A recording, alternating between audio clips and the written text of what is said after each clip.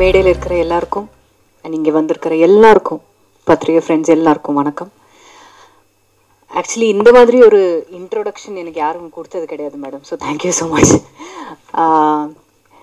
கண்டிப்பாக எஸ் சொன்ன மாதிரி பத்து வருஷத்துக்கு அப்புறம் சாருலதா என்னோட லாஸ்ட் படம் தமிழில். டைரெக்டாக இப்போது ஒரு டிஆர் ஃபிஃப்டி சிக்ஸ் மாதிரி ஒரு படம் டைரெக்டாக என் தமிழில் வரும். வருது ரொம்ப ரொம்ப சந்தோஷமாக இருக்குது அண்ட் மறுபடியும் உங்கள் முன்னாடி வரதுக்கு ரொம்ப ரொம்ப சந்தோஷமாக இருக்குது இதுக்கு ராஜேஷ் அவங்களுக்கு தான் தேங்க்யூ சொல்லணும் டைரக்டர் என் வீட்டுக்கு வந்து அவர் மட்டும் இல்லை பிரவீன் எல்லாருமே வீட்டுக்கு வந்து என் கதையை சொல்லும்போதே நான் ஒரே கண்டிஷன் தான் சொன்னேன். நீங்கள் சொன்ன மாதிரியே நீங்கள் எடுத்தீங்கன்னா கண்டிப்பாக இந்த படம் நல்லா இருக்கும். அண்ட் அதே மாதிரி எடுத்திருக்காரு. ஸோ ராஜேஷ் அவங்களுக்கு ரொம்ப வாழ்த்துக்கிறேன். ஆல் தி பெஸ்ட் உங்களுக்கு மட்டும் இல்லை எல்லாருக்கும் ஃபுல் டீமுக்கே நான் ஆப்வியஸ்லி தேங்க்யூ சொல்லணும் because I'm also part of the team Srikanth இந்த எக்ஸிக்யூட்டிவ் ப்ரொடியூசர் எந்த விதத்துலேயும் ஒரு குறைச்சல் இல்லாமல் ரொம்ப கம்ஃபர்டபுளாக எல்லாரையும் பார்த்து என்- உங்களுக்கு என்ன தேவை? ஷூட்டிங்க்கு என்ன தேவை? அது மட்டும் கரெக்டாக சரி இந்த இந்த இடத்துக்கு நமக்கு இது தேவை இது தேவை. பிரவீன் ஆல்சோ ஆப்வியஸ்லி எல்லாருமே அவரோட ஃபர்ஸ்ட் ப்ராஜெக்ட் மாதிரியே எனக்கு நம்பிக்கை வரல தட் இது அவரோட ஃபர்ஸ்ட் ப்ராஜெக்ட் கேமரா முன்னாடி அவர் ஃபர்ஸ்ட் டைம் வர்றாரு. பட் பார்க்கும்போது ரொம்ப அருமையாக நடிச்சிருக்காரு. அண்ட் இதில் நீங்கள் பார்த்தீங்கன்னா அங்கே ஒரு நாயும் இருக்கு. அதுவும் it's playing a very very important role இந்த ஃபிலிம் அது யாருமே சொல்லலை அந்த நாயை பற்றி பட் நான் அதுவும் ஒரு கண்டிஷன் சொன்னாரு. மேடம் இங்க இந்த படத்துல டாக்ஸ் இருக்கு. பிகாஸ் எனக்கு இந்த டாக்ஸ்னா எனக்கு ரொம்ப பிடிக்கும். அனிமல்ஸ்னால எனக்கு ரொம்ப பிடிக்கும். Big big animal lover so அது ஃபர்ஸ்ட் அந்த கண்டிஷன் சரி நான் இப்போவே சைன் பண்ணுறேன்னு சொன்னேன் இந்த படம். அது ஒரு கண்டிஷனில் நான் second that is my other condition actually dog இருக்கா? சரி அது கூட நடிக்கணுமா? நான் நான் ரெடி பட் uh, அதுவும் ஆக்சுவலி இந்த படத்தில் it's playing a very very important role அது இல்லாம இந்த கதையை பத்தி சொல்லணும்னா ஜாஸ்தி யாருமே சொல்லல but it's it's a take it's a take on the medical mafia that is happening today and கிட்டத்தட்ட இப்போ நம்ம ஒரு ஹாஸ்பிட்டல் போறோம். ஏதாவது ஒரு ப்ராப்ளம் இருக்குன்னா நம்ம போய் நைன்டி நைன் பர்சன்ட் எல்லாமே சரியாயிருக்கும். Yes I'm not saying no but ஒரு அண்டர்லைன் ஒரு ஒன் பர்சன்ட் அது வந்து என்ன நடக்கிறது? அது யாருக்குமே தெரியாது. ஸோ அந்த ஒரு ஃபேக்டரை வந்து நம்ம இந்த படத்தில் Uh, இந்த இந்த படம் மூலமாக நம்ம we trying to show what is happening and நீங்கள் ட்ரெய்லரும் பார்த்தீங்க இதில் it's said that it's based on a million millions of true stories அது ஒரு கதை எடுத்து அவங்க வந்து இந்த மாதிரி ஒரு இன்சிடென்ட்ஸ் நிறைய நடக்கிறது.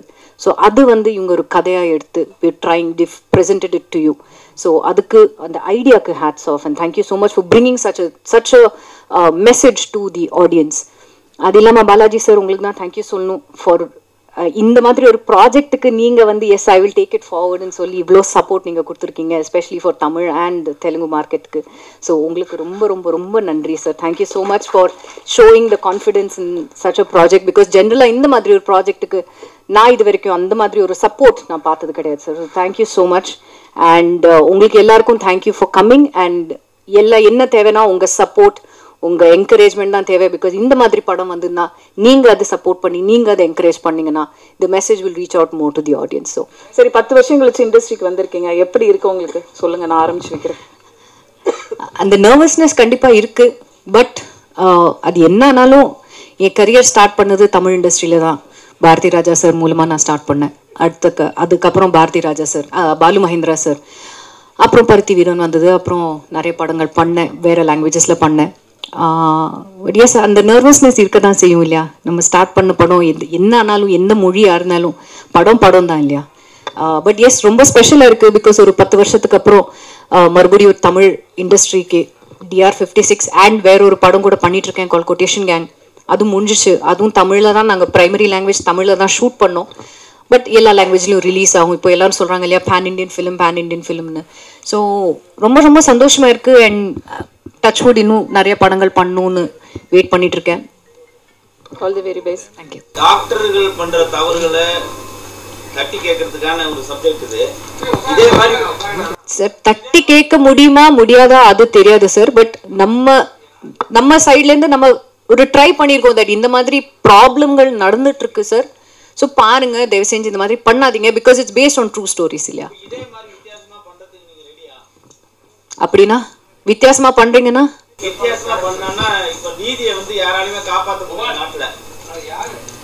நீதியை யாராலையும் காப்பாத்த முடியல அந்த நீதியை காப்பாத்துறதுக்கு யார் காப்பாத்த போறாங்கிற ஒரு விஷயம் அந்த மாதிரி விஷயங்கள். நம்ம சைட்லேருந்து முயற்சி பண்ணோம் இல்லையா சார் எவ்வளோ பண்ண முடியுமோ அந்த அவ்வளோ முயற்சி நம்ம சைட்லேருந்து நம்ம பண்ணுவோம் சார் அதுக்கப்புறம் ஆண்டவன் தான் பார்த்துப்பா.